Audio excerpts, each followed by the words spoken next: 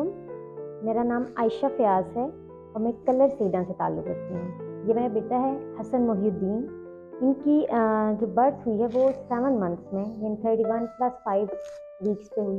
One point four के जी wait था बच्चे का जब हम नर्सरी से इसको लेके आए। किम्स हॉस्पिटल में R O P coordinator Alshifa eye trust hospital के R O P coordinator Abdulsabu साहब से हमारी बात हुई, जिन्होंने बहुत अच्छे तरीके से गाइड किया कि इस तरह के बच्चे जो प्री मिच्योर होते हैं उनकी आई का चेकअप टाइम पे कितना ज़रूरी होता है। लिहाजा इनके कहने पे हम अलशफाई ट्रस्ट हॉस्पिटल में लेके आए इसको। डॉक्टर सुमेरा से फ़र्स्ट चेकअप इसका हुआ। इसके बाद डॉक्टर सुमेरा ने हर हफ़्ते हर वीक वीकली इसका ट्रीटमेंट होता रहा आर होता रहा। इसके बाद फ़र्स्ट ऑफ़ मार्च को बच्चे को हमने आई के इंजेक्शन लगवाए अलशफा आई ट्रस्ट हॉस्पिटल से ही।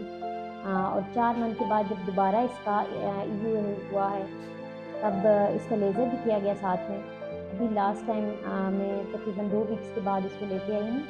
का चेकअप हुआ है और अल्हम्दुलिल्लाह, अल्लाह ताला का बहुत बहुत करम है। अल्लाह ताला के करम से और यहाँ अलशफा ट्रस्ट हॉस्पिटल के डॉक्टर्स और कोऑर्डिनेटर्स की विसात से उनके वसीले से जो है अब हसन मुहिद्दीन की आँखें बिल्कुल ठीक हैं। तो मैं ये मैसेज देना चाहूँगी उन पेरेंट्स को जिनके बच्चे प्री प्री मेच्योर होते हैं। वो ज़रूर जो है अपने बच्चों की आँखों का चेकअप टाइम पे करवाएँ और मैं अलशफा आई ट्रस्ट हॉस्पिटल के जो भी इसको चलाने वाले हैं, संभालने वाले, यहाँ के डॉक्टर सारे अमले और ख़ास तौर पर डॉक्टर सुमेरा और सर अब्दुल बहुत बहुत शुक्रिया, ख़ास तौर पर